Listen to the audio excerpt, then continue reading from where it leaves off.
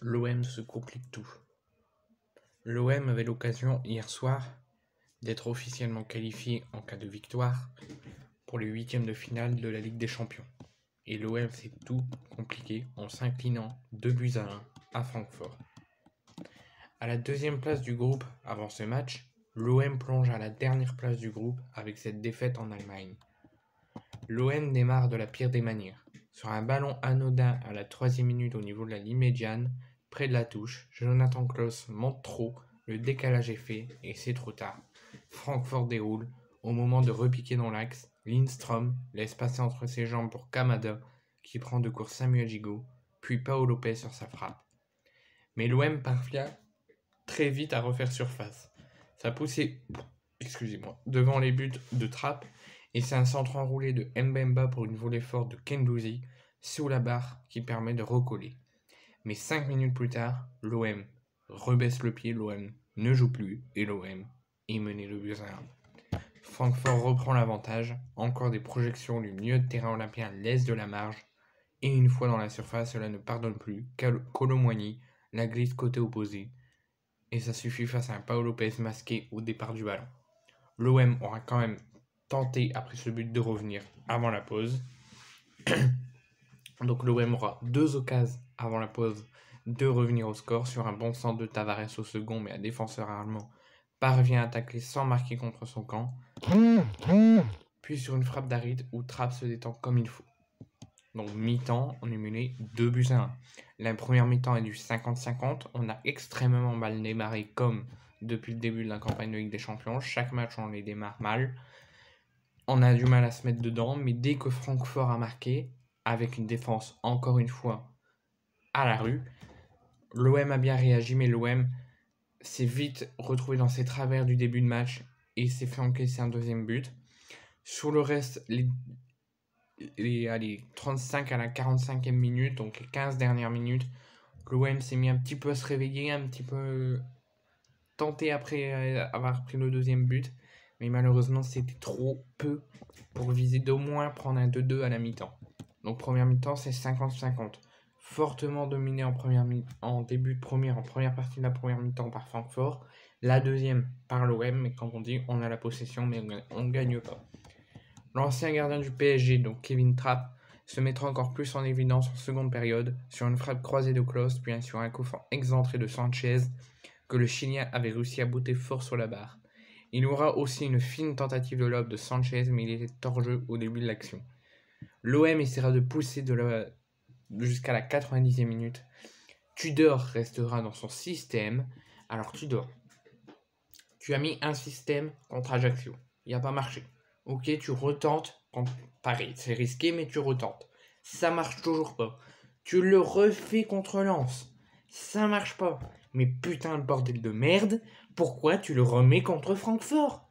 Si déjà dans les trois premières défaites qu'on a eues, ça n'a pas marché, ne le remets pas dans un match aussi crucial, dans un match aussi tendu.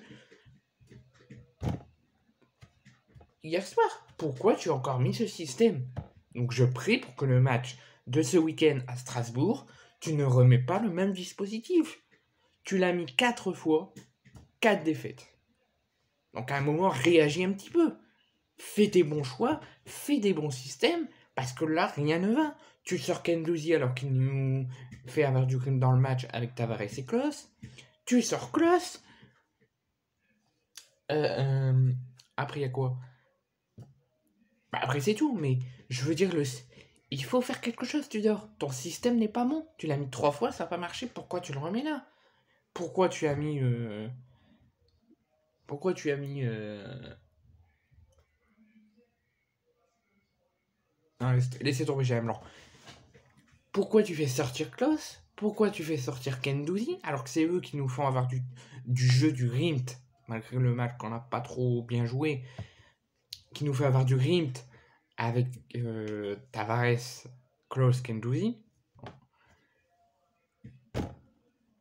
Il y a un problème, franchement. Je fais un appel à Pablo Longoria. Réagis, putain de merde. Tu dis que si nous, on fait les cons en tribune, et que du coup, on est exclu de Coupe d'Europe, et que tu veux être compétitif dans la Ligue des Champions et être qualifié dans la Ligue des Champions chaque année, je suis désolé, mais là, ça ne marche pas. Tu vois bien que ton entraîneur fait de la merde, fait des choix merdiques, fait des choix de système merdiques, remet la même chose à chaque match alors que ça fonctionne pas. Ok, on a bien joué contre Ajaccio, pas trop, pas trop. Contre Paris, on a été plutôt compétitif malgré la défaite. Contre Lens, la même chose. Là, on, a baissé un petit peu le pied, on a moins bien joué que les derniers matchs, mais c'était plutôt bon. Ok, là tu le dis dans la tête, là tu le dis dans ta tête, bah ok, on joue bien, donc on garde le système. Non, parce que ce système nous fait perdre. Quatre fois que tu le mets, quatre défaites. Là, il faut réagir, je suis désolé. C'est à la limite de tu dors, tu dégages. Arrête de dormir, tu dors. Réagis. Fais des bons choix, fais des belles copeaux, change de système. Alors depuis le début, depuis les trois défaites, je dis c'est pas la faute de Tudor, sauf les deux premières, mais c'est pas la faute de Tudor, c'est les joueurs, ils, ils donnent pas assez. Ou non, j'avais dit que c'était la faute de Tudor et que les joueurs donnaient mais qu'ils n'y arrivaient pas. Là, c'est la faute de Tudor. Il faut réagir. Nous, on veut pas, on veut pas être versé en Europa League. On veut pas être éliminé de la Ligue des Champions. On veut être compétitif. Donc Pablo Longoria, tu veux être compétitif dans les compétitions européennes, tu veux te qualifier chaque année dans les compétitions européennes. Donc maintenant, tu vas remettre le club au bon endroit. Parce que là, le club est en train de baisser. Le club est en train de mourir, de couler. Entre les choix complètement cons de Tudor les frictions qu'il y a avec les joueurs. Il sort les bons joueurs, il met, il met pas les bons. Là, on perd encore alors qu'on pouvait se qualifier dès hier soir et on va devoir gagner devant notre public contre Tottenham malgré que ça va être très compliqué.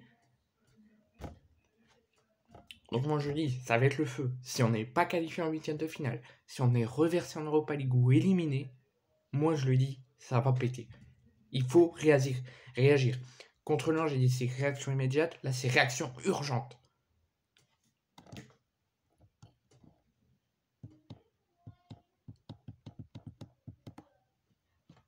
Le 11 de l'OM.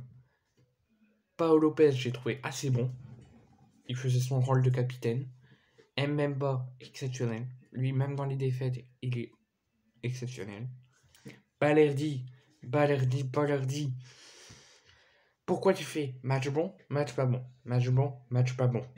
Fais tes matchs, surtout dans ce genre de match. Fais des matchs bons, putain. Là, tu as été mauvais. Tu as failli nous, nous concéder un troisième but. Réveille-toi. Gigo a été plutôt bon. L'entrée de Kolasiniak, c'était plutôt été bon. Donc la défense, malgré Balerdi, c'était plutôt. Ça tenait plutôt pas mal.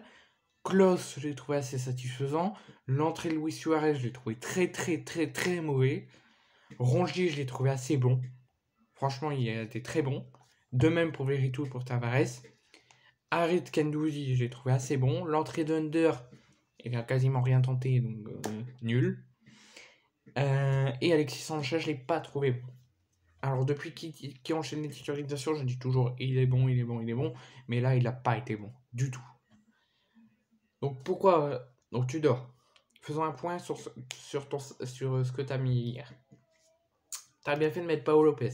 Tu as bien fait de mettre Mbemba. Tu as bien fait de mettre. Bon là, tu n'avais pas le choix. Mais... Ou tu pouvais même mettre Colassignac. Mais. Ok, Balerdi Gigo. Donc défense, ok. Klaus Tavares, Rongier, Veretout. Pourquoi tu as remis Veretout? Pourquoi tu as pas mis Gerson? Gerson, il est là. Il veut être compétitif. Il veut te montrer quelque chose. Et toi, tu le fous sur le banc. Tu le fais l'entraîner pour rien. Tu le fais s'échauffer pour rien. C'est le meilleur moyen de se blesser. De échauffer les muscles pour au final pas rentrer. De même pour Payet. Moi, je comprends pas qu'il il va faire échauffer les joueurs pour au final qu'ils font les cons et qu'ils s'échauffent pas. Donc, le geste que Gerson a fait de ne pas finir son échauffement, je le trouve correct. Je le trouve bien. Donc s'il vient être exclu de l'équipe première, euh, je serais très furieux parce que moi je suis désolé. Tu fais entraîner, tu fais échauffer des joueurs, c'est pour les faire entrer. Donc Payet, tu c'est la deuxième fois Payet, tu le fais chauffer, finalement il rentre pas. De même pour Gerson. Pourquoi faire entrer Luis Suarez à la place de Klaus Si tu veux sortir Klaus, tu fais entrer Caboret.